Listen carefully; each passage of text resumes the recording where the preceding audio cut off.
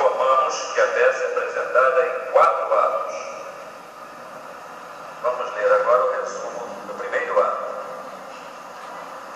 O empregado da Telerge, todos nós, vai levando a rotina do dia a dia no seu ambiente de trabalho, esperando o tempo passar, só pensando na aposentadoria, totalmente desmotivado, até que um dia encontra um mágico que muda totalmente a sua vida e a sua forma de encarar o mundo.